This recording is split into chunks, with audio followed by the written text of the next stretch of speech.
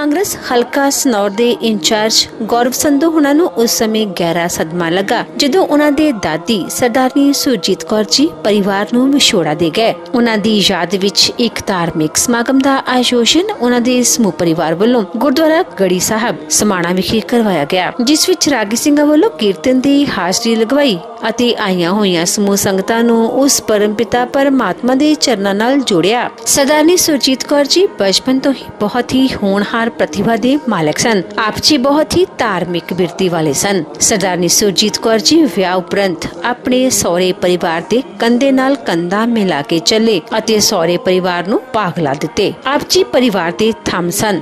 ਅਤੇ ਪੂਰੇ ਇਲਾਕੇ ਵਿੱਚ ਆਪ ਜੀ ਕਰਮਾ ਵਾਲੀ ਮਾਤਾ ਦੇ ਨਾਮ ਨਾਲ ਜਾਣੇ ਜਾਂਦੇ ਸਨ। ਆਪ ਜੀ ਨੇ ਆਪਣੇ ਪੁੱਤਰਾਂ ਦਲਜੀਤ ਸਿੰਘ, ਪਰਮਜੀਤ ਸਿੰਘ ਅਤੇ ਰਵੀ ਨੂੰ ਬਹੁਤ ਪੜਾਇਆ ਲਿਖਾਇਆ ਅਤੇ ਸਮਾਜ ਦੇ ਚੰਗੇ ਨਾਗਰਿਕ ਬਣਾਇਆ। ਅੱਜ ਆਪ ਜੀ ਦੇ ਬੱਚੇ ਆਪੋ ਆਪਣੇ ਖੇਤਰਾਂ ਵਿੱਚ ਨਾਮਣਾ ਖੱਟ ਰਹੇ ਹਨ ਅਤੇ ਆਪਣੇ ਮਾਤਾ ਜੀ ਦੇ ਨਾਮ ਨੂੰ ਉੱਚਿਆਂ ਚੁੱਕ ਰਹੇ ਹਨ। ਸਰਦਾਰਨੀ ਸੁਰਜੀਤ ਕੌਰ ਜੀ ਗਰੀਬਾਂ ਤੇ ਦੀਨ ਦੁਖੀਆਂ ਦੇ ਮਸੀਹਾ ਸਨ। ਹਰ ਕਿਸੇ ਦੀ ਮਦਦ ਹਰ ਵੇਲੇ ਆਪ ਜੀ ਦਿਲ ਖੋਲ ਕੇ ਕਰਿਆ ਕਰਦੇ ਸਨ। ਆਪ ਜੀ ਬਹੁਤ ਹੀ ਸਹਿਣਸ਼ੀਲ ਬਿਰਤੀ ਦੇ ਮਾਲਕ ਸਨ ਅਤੇ ਬਹੁਤ ਹੀ ਹਸਮੁਖ ਸੁਭਾਅ ਵਾਲੇ ਸਨ।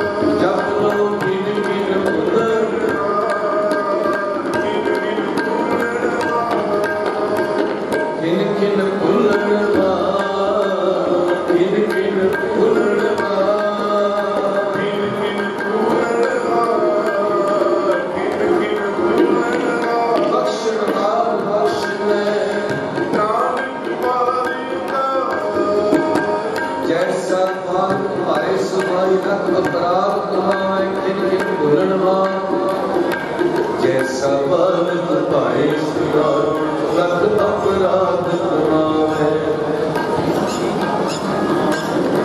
ਕਰਮ ਕਰੇ ਜਿੜਕੇ ਕੋ ਭਾਤੀ ਪਵਨ ਪਿਤਾ ਕਰਨਾਵੇ ਪਿਛਲੇ ਔਗਣ ਬਖਸ਼ ਲੈ ਪ੍ਰਭ ਪਿਛਲੇ ਔਗਣ ਬਖਸ਼ ਲੈ ਆਗੇ ਵਾਰੀ ਪਾਵੇ ਗੁਰੂ ਦੀ ਸਾਸਤ ਬੇਨਤੀ ਹੈ ਛੋਟਾ ਜਿਹਾ ਬੱਚਾ ਆਪਣੇ ਮਾਤਾ ਪਿਤਾ ਤੋਂ ਵਿਛੜ ਗਿਆ ਬੇਨਤੀ ਹੈ ਜੇ ਕੋਈ ਦੇਖ ਰਹੇ ਹਨ ਛੋਟਾ ਜਿਹਾ ਬੱਚਾ ਰੋਂਦਾ ਪਿਆ ਹੈ। ਉਹਦੇ ਮਾਤਾ ਪਿਤਾ ਜਿੱਥੇ ਵੀ ਹਨ ਸਟੇਜ ਦੇ ਕੋਲ ਆ ਕੇ ਉਹਨਾਂ ਨੂੰ ਲੈ ਜਾਣ। ਸੋ ਬੇਨਤੀ ਹੈ ਮਾਤਾ ਪਿਤਾ ਨੂੰ ਜਿੱਥੇ ਵੀ ਹਨ ਆਪਣੇ ਬੱਚੇ ਨੂੰ ਲੈ ਕੇ ਜਾਣ। ਕਿਨ ਕਿਨ ਪੂਰਨਵਾ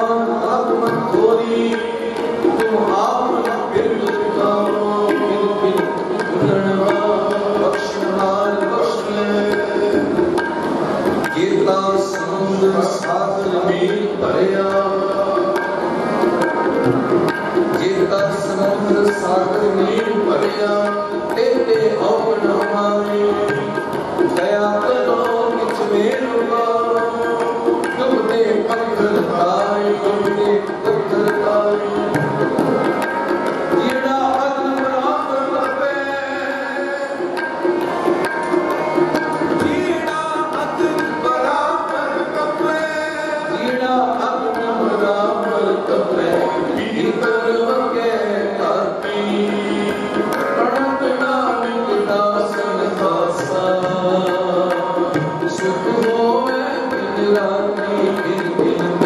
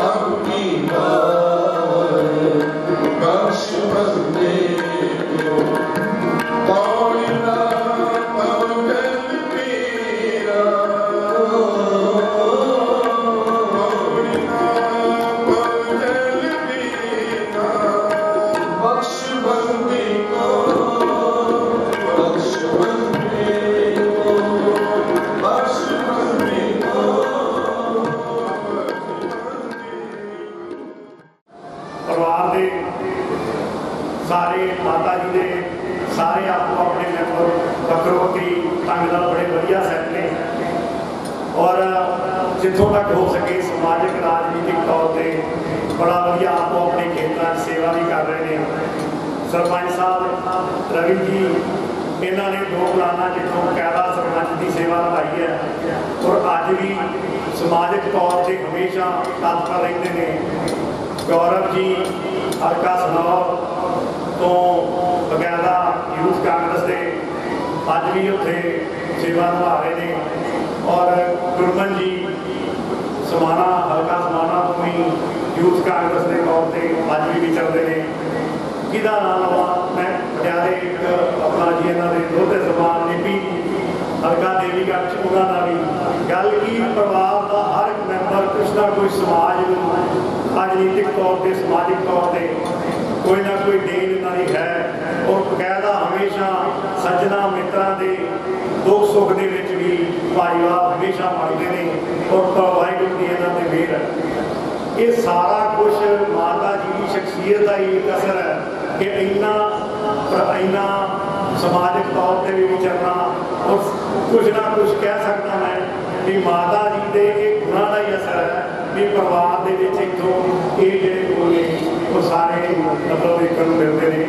ਸੋ ਵਾਹਿਗੁਰੂ ਕਰੇ, ਇੱਕ ਬੜਾ ਲੰਮਾ ਅਰਸਾ ਹੁੰਦਾ ਹੈ। 95 ਸਾਲ ਤੋਂ ਵੀ ਉੱਪਰ 100 ਸਾਲ ਦੇ ਕਰੀਬ ਉਮਰ ਹੋਣਾ ਤੋਂ ਉਪਲਬਧੀ ਇੱਕ ਇਨਸਾਨ ਦੀ ਕੀ ਹੋ ਸਕਦੀ ਹੈ, ਇੱਕ ਇਨਸਾਨੀ ਤੌਰ ਤੇ?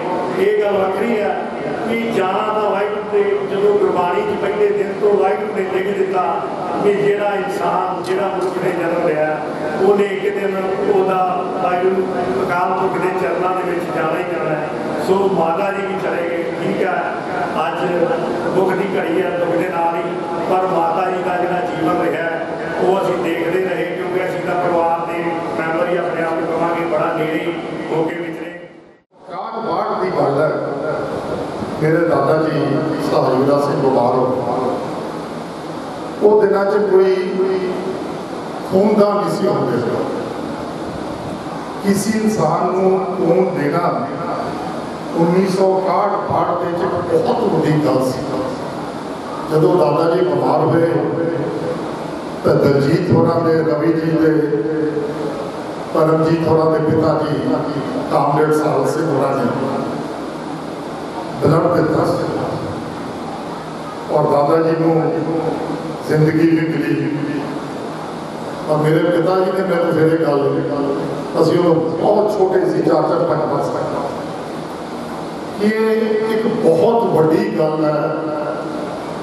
ਔਰ ਇਹ ਜ਼ਿੰਦਗੀ ਦੇ ਵਿੱਚ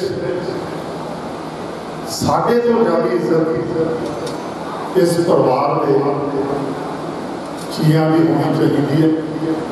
ਔਰ ਉਹ ਦਿਨ ਜਦੋਂ ਮੈਂ ਮਾਤਾ ਜੀ ਹੋਰਾਂ ਨੂੰ ਆਪਦੀ ਮਾਤਾ ਤੋਂ ਉੱਤੇ ਹਮੇਸ਼ਾ ਰੱਖਿਆ।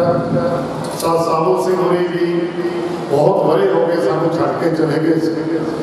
ਜਦੋਂ ਬਿਮਾਰ ਹੁੰਦੇ ਸੀ ਤੇ ਮੈਂ ਤੇ ਉਹ ਅਸੀਂ ਇਕੱਠੇ ਇੱਕੋ ਕਮਰੇ 'ਚ ਪਟਿਆਲੇ ਮਾਡਲ ਦਾ ਉਹਨਾਂ ਦਾ ਇਲਾਜ ਹੁੰਦਾ ਸੀ। ਔਰ ਅਸੀਂ ਇਕੱਠੇ ਹੀ ਸੌਂਦੇ ਸੀ।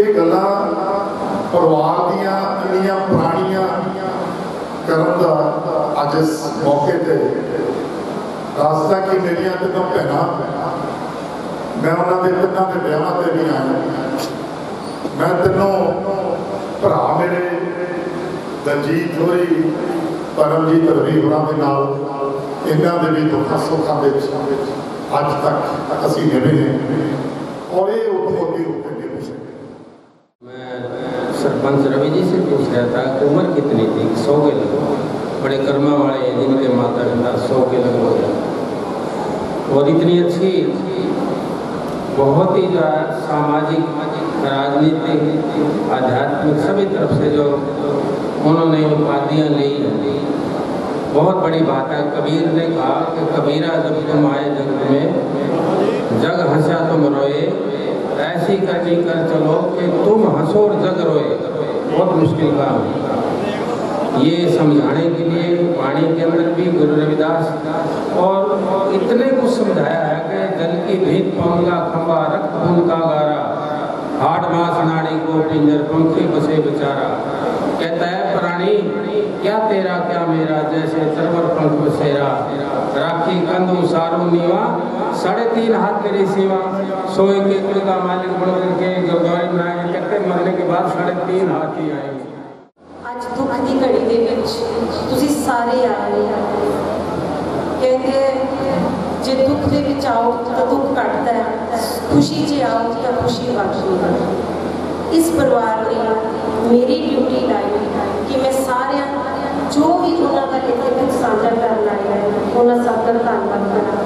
ਮੈਂ ਇਸ ਪਰਿਵਾਰ ਨੂੰ, ਉਹਨਾਂ ਦੇ ਤਿੰਨਾਂ ਬੇਟਿਆਂ ਵੱਲੋਂ ਸਰਦਾਰ ਦਲਜੀਤ ਸਿੰਘ ਪਰਮਜੀਤ ਰਵਿੰਦਰ ਕੌਰ। ਉਹਨਾਂ ਦੀਆਂ ਡਾਕਟਰ ਲੋ ਹਰਭਜਨ ਕੌਰ ਕੁਲਜੀਤ ਕੌਰ ਤੇ ਨਰਿੰਦਰ ਕੌਰ ਉਹਨਾਂ ਦੀਆਂ ਬੇਟੀਆਂ ਸੁਰਿੰਦਰ ਕੌਰ, ਰਜਿੰਦਰ ਕੌਰ ਤੇ ਕਮਲ ਭੈਣ ਵੱਲੋਂ ਸਾਰੇ ਆਇਆ ਦਾ ਧੰਨਵਾਦ ਕਰਦੇ ਤੇ ਮਾਤਾ ਜੀ ਨੂੰ ਪੂਰੀ ਸ਼ਰਧਾਂਜਲੀ ਭੇਟ ਕਰਦੇ ਹਾਂ।